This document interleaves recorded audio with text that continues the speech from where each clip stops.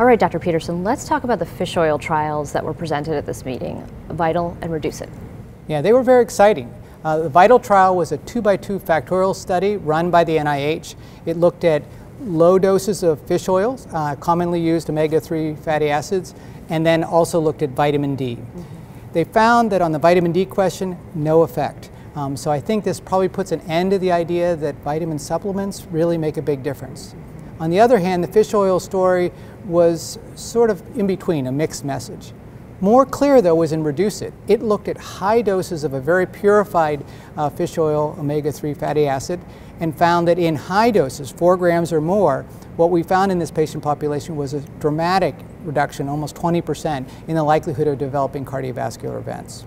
All right, so what do we learn from Reduce It? How does it add to the fish oil story? Yeah, I think the most important thing to realize with Reduce It is this was an already well-treated patient population, both primary and high-risk primary and secondary populations.